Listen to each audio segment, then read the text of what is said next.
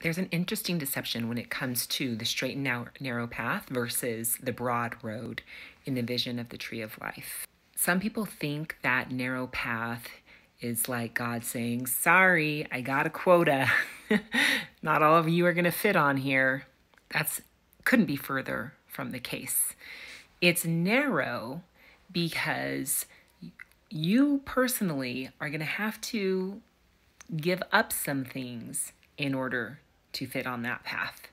You may have to give up some of the natural man. You may have to give up philosophies of man. You're going to have to make a sacrifice just as the Savior made a sacrifice. Likewise, there's confusion when it comes to the spacious field, the broad road, the spacious building.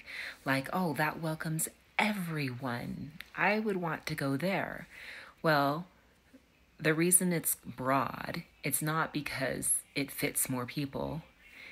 It's because anyone can walk on it and not have to give up anything. Take everything you want on that road.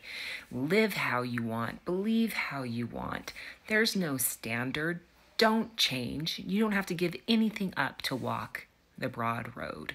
I also find it really interesting that right now there's the buzzword being used with those who are questioning their faith, leaving the church, that they are having a faith expansion or have expansive faith. Well, what is synonymous with the word broad and spacious? Expansive. Do you see that deception?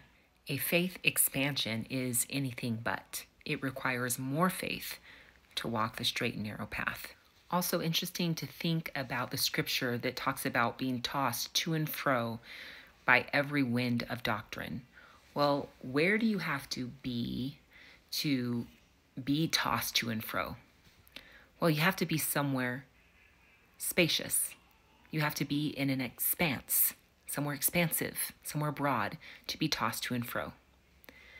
Where do you have to be to be protected from being tossed to and fro?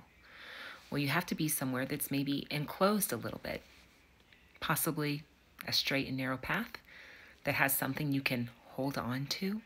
Hold on to the doctrine of Jesus Christ. His path welcomes any and all. He only asks that you leave behind those things that are going to weigh you down.